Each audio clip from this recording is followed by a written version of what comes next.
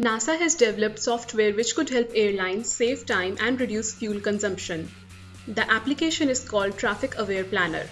It connects directly to the avionics information hub on the aircraft to read the plane's current position, altitude, and the flight route. After combining this info with wind forecasts and weather conditions, the app looks for a route or altitude changes that could save fuel or flight time. These solutions are displayed directly to the flight crew. Virgin America and Alaska Airlines will test the software over the next three years.